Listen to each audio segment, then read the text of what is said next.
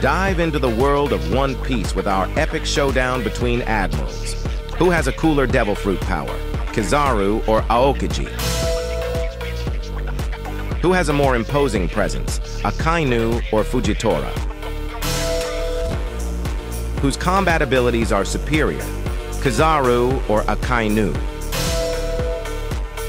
Who is the better strategist, Aokiji or Fujitora? Who has a more compelling backstory, Akainu or Aokiji?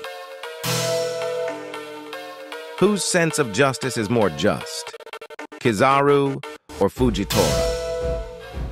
Who would win in a one-on-one -on -one battle, Akainu or Aokiji?